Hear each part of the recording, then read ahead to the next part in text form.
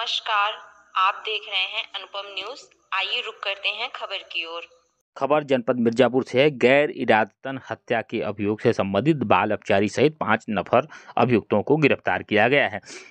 खबर विस्तार पूर्वक से, थाना हलिया, जनपद मिर्जापुर पर दिनांक 23 मई 2023 को वादी मुकेश कोल, पुत्र राजरूप निवासी रामपुर, नौडिहा थाना हलिया जनपद मिर्जापुर को नामजद अभियुक्तों के विरुद्ध एक राय होकर वादी के पुत्र सीएम कोल को मारपीट कर गंभीर रूप से घायल करने तथा इलाज हेतु ले जाते समय रास्ते में मृत्यु हो जाने के संबंध में लिखित तहरीर दी गई। उक्त तहरीर के आधार पर थाना हलिया में मुकदमा अपराध संख्या पचपन बट्टे दो हज़ार तेईस, एक सौ सैंतालीस, एक तीन सौ चार भारतीय विधि संहिता पंजीकृत कर विवेचना आरंभ की गई। पुलिस अधीक्षक मिर्जापुर संतोष कुमार मिश्र द्वारा उक्त घटना को गंभीरतापूर्वक लेते हुए यथाशीघ्र घटना से संबंधित अभियुक्तों की गिरफ्तारी हेतु क्षेत्राधिकारी लालगंज के नेतृत्व में थानाध्यक्ष हलिया को निर्देशित किए गए।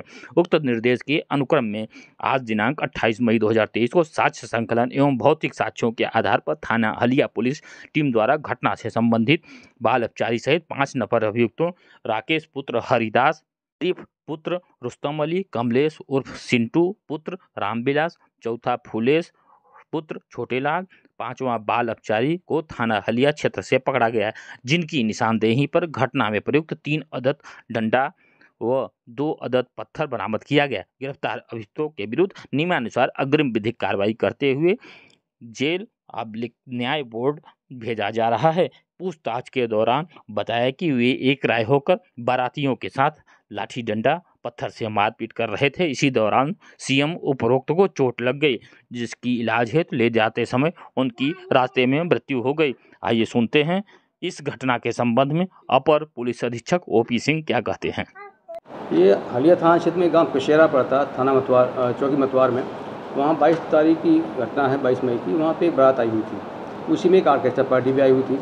उसी आर्केस्ट्रा पार्टी में गाँव के जब पाँच युवक थे और आर्केस्ट्रा पार्टी कुछ झगड़ा हुआ रात में, बाद में लोगों ने शांत करा दिया। लेकिन जो गाँव के युवक थे, इसमें राकेश मैन था, उसने जो है कहा कि जब मेरी बेजती हो गई है सुबह इनको देखूँगा मैं। इसी क्रम में ये राकेश सात लड़कों को लेकर के अपने जो हलिया का जो जंगल पड़ता है मतवार वाला, वहाँ चला गया। और सुबह साढ़े सात बजे के आसपास जब बारात की बस जा रही थी, उसको रोक लिया उन्होंने और उसको पथराव किया। रात में उनको दौड़ाया तो पत्थरबाजी करते भागे हैं ये। उसी क्रम में इनके साथ में लड़का था सीएम नाम का मुकेश को लड़का है। वो भी उसके सिर में पत्थर लग गया जिनके साथ में लड़का आया था वो। वहीं पे गिर गया। बाद में बात वहाँ चली गई। इन लड़कों ने जो है उसकी, जो वो बेहोश हो गया था, उसकी सूचना घर वालों को नहीं दी और स्वयं ले जा करके सी एस हलिया में ले गए। वहाँ बताया गया कि इसका एक्सीडेंट हो गया है। तो डॉक्टर ने उसको प्राइमरी उसका जो है उपचार किया और रेफ़र कर दिया यहाँ सदर अस्पताल मिर्ज़ापुर के लिए। यहाँ पे इसका थोड़ा इलाज चला, बाद में यहाँ रेफ़र हो गया था ट्रामा सेंटर बी एस के लिए। जब रास्ते में ले जा रहे थे बनास पहुँच गए थे, पहुँचते उसकी जब वहाँ चेक किया गया तो उसकी मृत्यु हो चुकी थी। मृत्यु होने के बाद जो है राकेश नाम का युवक है जो मैं आदमी लीडर था इसमें, उसने अपनी माँ को बताया फिर माँ ने सूचना इसके बच्चों घर वालों को दी। इस सूचना पर घर वालों ने जब जब पता चला कि मेरे बच्चों की मृत्यु हो गई है तो उनके द्वारा इन छः लोगों के खिलाफ एफ़ आई दर्ज कराई गई, तीन सौ चार आई पी सी की गैर इरादतन हत्या की। इस पर पुलिस ने इंक्वायरी की तो घटनाक्रम यही पाएगा कि यही वहाँ गुंडागर्दी करने गए थे। और राकेश जो मेन लीडर था इसका, राकेश भी एक आर्केस्ट्रा कंपनी चलाता है।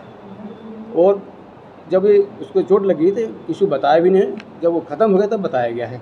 इस क्रम में पाँच लोगों को गिरफ़्तार किया गया, उसमें एक बाल भी है और एक ही गिरफ्तारी शेष है। अभी उनकी कार्रवाई की जा रही है।